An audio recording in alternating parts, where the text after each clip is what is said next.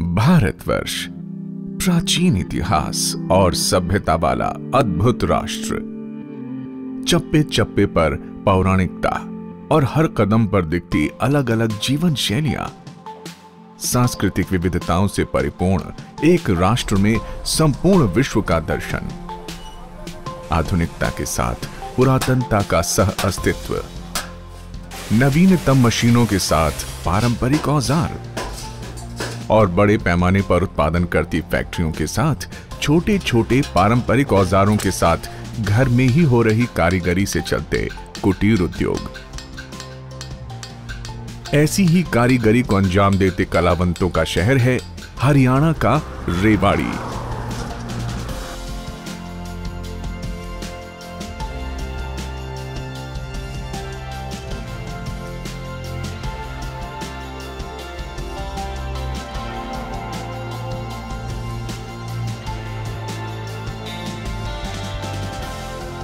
और इस रेवाड़ी में सदियों से चलता आ रहा है, पीतल के बर्तन बनाने का कुटीर उद्योग।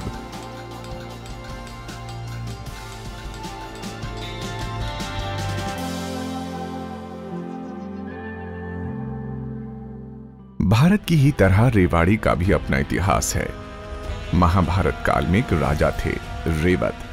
उनकी एक कन्या का नाम था रेवती। जिसका विवाह भगवान श्री कृष्ण के बड़े भाई बलराम से हुआ था। राजा रेवत प्यार से अपनी बेटी को रेवा बुलाया करते थे। अपनी लाडली बेटी के नाम पर उन्होंने एक नगर बसाया और उसका नाम रखा रेवावाड़ी। बीतते समय के साथ यही रेवावाड़ी रेवाड़ी कहलाने लगा। रेवाड़ी के इतिहास में पीतल का अध्याय, दिल्ली के अंतिम हिंदू राजा हेमचंद्र विक्रमादित्य उर्फ़ हेमू के कारण जुड़ा। वे मूलतः यहीं के थे। रेवाड़ी शहर के कुतुबपुर इलाके में अब भी हेमू की हवेली शान से अतीत की कहानी कहती है। हेमू ने रेवाड़ी में पीतल की तोपे बनाने का काम शुरू किया था। उस समय पीतल की तोपें युद्ध जीतने की गारंटी मानी जाती थीं। रेवाड़ी की सीमा राजस्थान से सटी हुई है। स्वाभाविक है कि सूरज की तपन और धूल भरी आंधियाँ झेलते हुए यहाँ पानी की भयंकर कमी हो जाती है। पानी की इसी कमी को पूरा करने के लिए जल भंडारण ज़रूरी था। इसके लिए तोपों से बचे खुचे पीतल के टुकड़ों से तरह तरह के पानी भरने के बर्तन बनाए जाने लगे।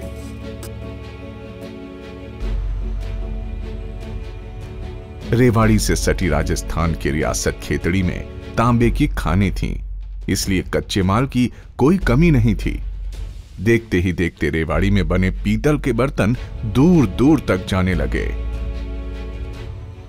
सन 1556 में पानीपत की दूसरी लड़ाई में हेमू की हार के बाद रेवाड़ी उतनी महत्वपूर्ण तो नहीं रही लेकिन यहाँ पीतल कारोबार की यात्रा अनवरत चलती रही। तोप की जगह पीतल के बर्तन और सजावटी सामान का उत्पादन प्रमुख हो गया। धीरे धीरे रेवाड़ी को लोग पीतल नगरी के नाम से जानने लगे। सदियों से चल रहे पीतल के कारोबार ने रेवाड़ी को एक खास शख्सियत दी है।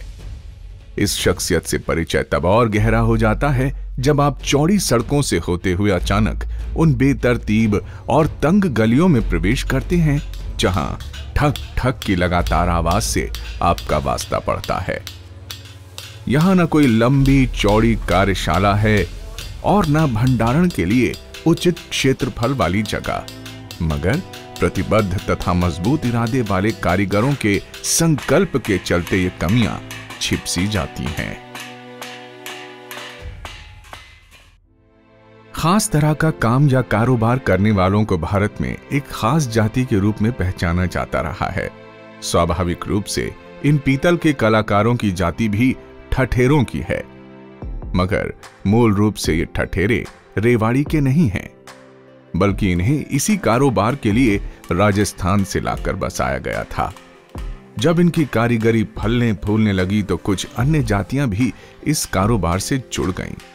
लेकिन इस पेशे की कारीगरी तो मौलिक रूप से ठठेरों की ही है। ये अपने काम से इतनी सहजता के साथ जुड़े हैं कि इन्हें इसके लिए अलग से किसी स्थान विशेष की आवश्यकता नहीं। जहाँ ठठेरों का पूरा परिवार रहता है, वहीं इनकी कारीगरी भी चलती रहती है। कारीगर और उसकी कारीगरी के बीच एक भावनात्मक रिश्ता होता है। यह रिश्ता अभ्यास की साधना से सुंदर परिणाम के रूप में सामने आता है। मगर इस परिणाम के आर्थिक फल पर इनका अधिकार बहुत कम होता है। पीतल की कमाई का एक बड़ा हिस्सा बिचौलियों के पास चला जाता है, जिनकी भूमिका निर्माण प्रक्रिया के पहले से ही शुरू हो जाती है। पीतल का बर्तन बनाने के लिए सबसे पहले चाहिए होता है कच्चा माल, और कारीगरों के सामने यह कच्चा माल पीतल के गोले के रूप में आता है। पीतल के इन गोलों को कारीगरों के शब्दों में पीतल का लड्डू कहा जाता है। पीतल के लड्डुओं की कीमत संख्या में नहीं बल्कि मात्रा के रूप में आकी जाती है। यही कारण है कि इसे तौलकर बेचा और खरीदा जाता है। पीतल के लड्डू कारीगरों के पास सीधे सीधे इनके निर्माताओं से नहीं, बल्कि बिचौलियों के माध्यम से आते हैं। ऊपर से देखने में पीतल के लड्डू भले ही साफ़ सुथरे लगते हों, मगर कारीगरी के हिसाब से इनमें कई तरह की अशुद्धियाँ मौजूद होती हैं। यही कारण है कि लड्डुओं को दहकती भट्टी में डाला जाता है।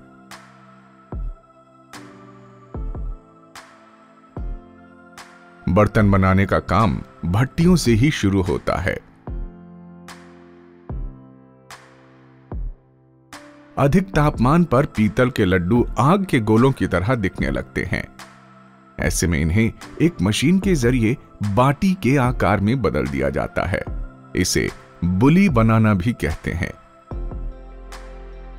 पीतल की बाटी बन जाने के बाद इन्हें एक खास तरह की मशीन पर ले जाकर बेला जाता है। इस बेलन के बाद जो आकार बनता है, वो आवश्यकता के हिसाब से अब भी पर्याप्त नहीं होता है। यही कारण है कि उन्हें बड़ा आकार देने के लिए एक बड़ी मशीन पर बेला जाता है। और ऐसा करते हुए इन्हें बड़ी बड़ी चादरों में बदल दिया जाता है। इन चौकोर चादरों की उचित कटाई छटाई की जाती है। भविष्य में बनाए जाने वाले बर्तनों के हिसाब से ही उन चादरों की सटीक कटाई की जाती है। इसके लिए पर्याप्त आकलन क्षमता तथा अनुभव की आवश्यकता होती है।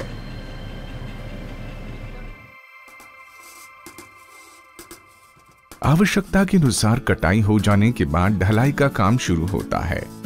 ढलाई का अर्थ यहाँ इन चादरों को मनचाहा आकार देना होता है। ये काम बड़े, छोटे, कई तरह के हथौड़ों और अन्य उपकरणों के माध्यम से किया जाता है। हथौड़ों की चोट सटीक जगह पर और सही तरीके से हो, इसके लिए गहरे अभ्यास की ज़रूरत होती है।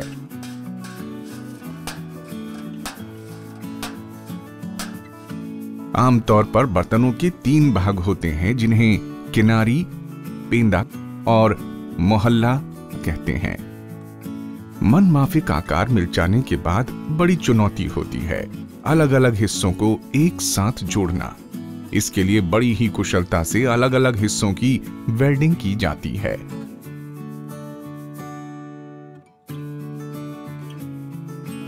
इसके बाद बर्तन अपने स्वरूप में आ जाता है। अब इसे हम पहचान सकते हैं, लेकिन अभी भी इसमें कई काम बाकी होते हैं। वेल्डिंग के बाद बदरंग हुए बर्तन को असली रंगत में लाने के लिए उन्हें तेजाब के हवाले किया जाता है।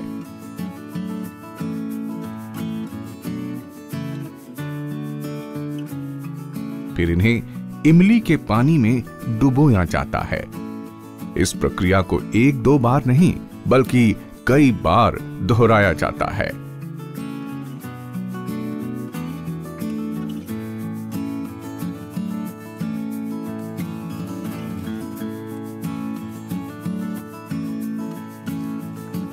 धुलाई की इस प्रक्रिया से बार बार गुजरने के बाद बर्तन तो साफ़ हो जाते हैं, लेकिन अब भी इनमें चमक नहीं होती।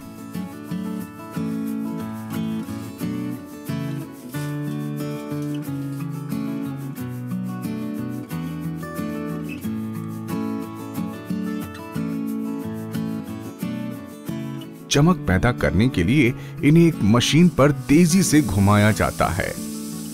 घूमते बर्तनों को कारीगर एक खास तरह के कागज़ की मदद से रगड़ता है।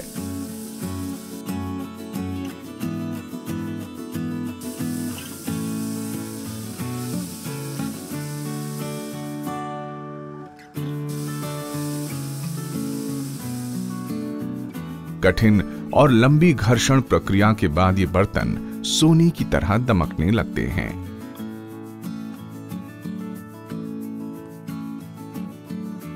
ये चमकदार बर्तन वैसे तो तैयार दिखते हैं, लेकिन अब भी इनमें बाज़ार को आकर्षित करने की एक खासियत नहीं होती है, और ये है इन बर्तनों पर सजावट का काम। यह काम निर्माण प्रक्रिया का बेहद महत्वपूर्ण अंग है, और कारीगरी की मंजिल का आखिरी पड़ाव भी। जिस तरह कोई सुनार अपने गहनों को बेहद छोटे छोटे हथौड़ों की मदद से हौले हौले चोट देकर उन्हें आकार देता है। ठीक उसी बारीकी के साथ इन कारीगरों के हाथ इन बर्तनों पर डिज़ाइन की लड़ी पिरोते हैं। इस प्रक्रिया को बीटिंग कहते हैं। बीटिंग के बाद शानदार डिज़ाइन वाले बर्तन अब पैकिंग और बिकने के लिए पूरी तरह से तैयार हो जाते हैं। पीतल के बर्तनों की कारीगरी यहाँ पूरी हो जाती है और यहाँ से शुरू होती है इसके बाज़ार की कहानी। कारीगरी के ये कलावंत सिर्फ़ अपनी कारीगरी से ही वास्ता रखते हैं। बाज़ार के जोड़ घटाव से इनका लगभग अलगाव ही रहता है। ऊपर से तौल की बाजीगरी भी इनकी कारीगरी की कीमत पर प्रति किलो 10 से 15 रुपए की चपत लगा जाती है। कारीगरों की व्यथा कथा बड़ी लंबी है। बिचौलियों की मौजूदगी इनकी कारीगरी के प्रवाह को स्वच्छंद नहीं बहने देती। पीतल का कारोबार देश के अन्य हिस्सों में भी है, जहाँ ये फल फूल रहा है। लेकिन हरियाणा की इस पीतल नगरी की मर्म भेदी शिकायत है कि इसकी पहचान लगातार खोती जा रही है। इस संबंध में सरकारी और गैर सरकारी दोनों तरह के प्रोत्साहन की बड़ी ज़रूरत है। पचास साल पहले यहाँ पे कम से कम पाँच चार घरों में पीतल का काम होता और धीरे धीरे धीरे धीरे यहाँ का काम खत्म हो गया। जगाधरी में जब कुछ भी नहीं था, जब यहाँ काम होता था। और जगाधरी आज, जगाधरी और मुरादाबाद बहुत रिवाड़ी से आगे बढ़ गया है। और रिवाड़ी पिछड़ती जा रही है। हर साल अब यहाँ मुश्किल से सौ घर काम नहीं करते। रेवाड़ी के पीतल उद्योग को सबसे बड़ी चुनौती बाज़ार में मौजूद एल्यूमिनियम तथा स्टील के बर्तनों से मिलती है, क्योंकि ये बर्तन सस्ते होते हैं। हालाँकि पीतल के बर्तनों की यदि खूबियाँ देखी जाएँ तो इनके सामने एल्यूमिनियम और स्टील के बर्तन कहीं नहीं ठहरते। एक तो पीतल के बर्तन में खाना खाना या पानी पीना स्वास्थ्य के दृष्टिकोण से लाभदायक होता है। वहीं दूसरी ओर पीतल के पुराने बर्तनों की कीमत भी बेहतर मिलती है। ये ऐसा है जैसे आप ही कोई चीज़ ले गए ग्राहक कस्टमर हमसे ये टोकनी खरीद के ले गया। अच्छा। और ये इस्तेमाल पाँच साल तक की उसने इस्तेमाल की। इस्तेमाल करने के बाद वो वापस लाएगा हमारे पास इसको फूट में डालने के लिए। इसकी दोबारा गढ़ाई होगी। गढ़ाई होने के बाद फिर का कारीगर इसकी दोबारा से टोकनी बन जाएगी। जब वापस लाएगा तो ये बिकेगी कितने की? ये यानी ये समझ लो कि ये फ्री में भरती जाती है। अच्छा। हाँ जी। यानी पाँच साल बाद आज आज आप कोई नई के परात या टोकनी जैसी ये ले जाते हो। ये आज की डेट में आपने खरीदी और पाँच साल बाद जब आप इसको लेके आओगे तो जिससे ज़्यादा की ही आपकी बिक जाएगी। रेवाड़ी के पीतल उद्योग की एक बड़ी परेशानी है पुराने औजारों का प्रयोग। ये औज़ार सालों से बिना किसी सुधार के यूँ ही चल रहे हैं। कारीगरों के घरों में इन औजारों की खटपट न जाने कितने वर्षों से चली आ रही है, जबकि तकनीक और प्रौद्योगिकी तेज़ी से बदल रही है। पुरानी तकनीक होने के कारण काम में मेहनत बहुत लगती है। इसके चलते काम करने वाले इसमें नहीं आना चाहते। ठठेरा संघ के प्रधान की शिकायत है कि इस कारोबार में जितनी मेहनत है, उसकी तुलना में लाभ बहुत मामूली है। ऐसे में इस पेशे का आकर्षण खत्म हो रहा है। तीस बरस पहले इस कारोबार की चमक के आगे सरकारी नौकरी का आकर्षण भी फीका था।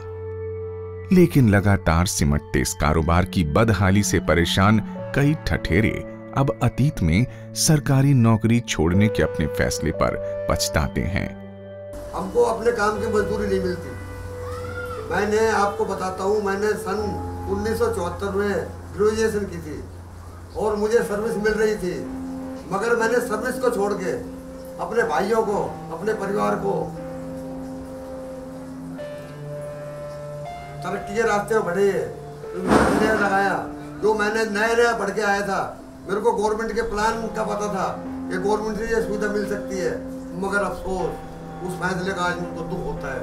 अगर मैं उस समय सर्विस कर रहा होता तो आज मैं इस ठटेरे के समाज के भटभट के दफ्तर से निकल जाता, सुख चैन से ज़िंदगी गुजारता तंग गलियों और सिमटे हुए घरों में चलती इस कारीगरी के कारण पूरे मोहल्ले में हमेशा खट खट होती रहती है।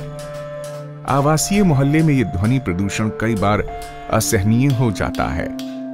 ऐसा नहीं है कि इससे मुक्ति पाने के लिए कभी कोई प्रयास नहीं हुआ। प्रयास तो हुआ, लेकिन उस प्रयास पर पूंजीपतियों की नज़र गड़ गई। इन कारीगरों के लिए ब्रास मार्केट के नाम से एक बाज़ार बनाया गया था। लेकिन विडंबना ऐसी कि यहाँ पीतल के कारीगरों को ज़मीन का एक छोटा सा टुकड़ा भी नहीं मिला। एक एक समय श्री राम निवास जी डीसी आए थे यहाँ। उन्होंने हमारे लिए बहुत सोचा और हमारे लिए ब्रास मार्केट का निर्माण करवाया। मगर अफसोस, ये पूंजीपति उस ब्रास मार्केट भी खा गए आज भी आप जाके देखो ठटेरा काम करता हुआ दिखाई देगा मगर ठटेरे के पास क्या कोई इस छलावे के साए तले ठठेरों की अगली पीढ़ी बेचैनी महसूस करती है। इनकी नई पीढ़ी को मौके की गुनगुनी धूप चाहिए और नए पेशे का शामियाना हम ये काम क्यों करें? हमारे पहले से चलते आ रहे ताऊ जी दादाजी ये काम करके कुछ नहीं मिला। दिन भर काम करते करते 200 की मजदूरी होती है। हम ये चाहते हैं कि पढ़ लिख कर अपनी अच्छी नौकरी मिले, घर का नाम रोशन करे और गली का नाम रोशन करे। इसलिए हम काम ये नहीं करना चाहते कोई गली में से जाता है तो कान बंद करके जाता है। पीतल की इस कारीगरी में बच्चों और युवाओं को अपना कोई भविष्य नहीं दिखता। इस पेशे में अभाव का जो अंधेरा छाया है, उसके छटने की उन्हें कोई उम्मीद नहीं। ऐसे में उनकी नज़र किसी ऐसे पेशे की तलाश में है, जो आर्थिक मोर्चे पर मज़बूत भी करे और सामाजिक हैसियत भी दिलाए। पीतल के कारीगरों के बीच कई गैर सरकारी संगठन काम कर रहे हैं। उन्हें भी लगता है कि यहाँ समस्याएँ बहुत हैं। कारोबार के लिए पर्याप्त पूंजी नहीं है। उचित कार्यस्थल या कार्यशाला की नितांत कमी है और सबसे बड़ी चुनौती है इन कारीगरों के लिए बाज़ार की सिमटती संभावनाएँ। इसके लिए विशेष प्रयास किए जा रहे हैं। विशेष रूप से हम लोग, जो ठठेरों की जो कारीगरी कौशल है, उसमें तकनीकी विकास कराते हुए इनमें बाज़ार की संभावनाएँ तलाश और ऐसा कारीगर पंचायत कर भी रही है। देश के दूसरे हिस्सों में कई बार हम लोग नेशनल लेवल पे एग्जीबिशन कराते हैं। जो अच्छे कलाकार हैं, उनको राष्ट्रपति अवार्ड के लिए भी भेजते हैं। इस तरह का प्रयास राष्ट्रीय कारीगर पंचायत कर रही है और भविष्य में हम रेवाड़ी के ठठेरों के लिए भी इसी तरह से आगे बढ़ेंगे। रेवाड़ी के पीतल उद्योग में काम करने वाले कारीगरों की परेशानियों की सूची बड़ी लंबी है। लेकिन यहाँ कुछ ऐसा भी है जो उन्हें सुकून देता है। अपने ही घर में, अपने परिवार के साथ काम करने की सुविधा। कारीगरों को कहीं और नहीं जाने देती। हमारा काम बहुत अच्छा है।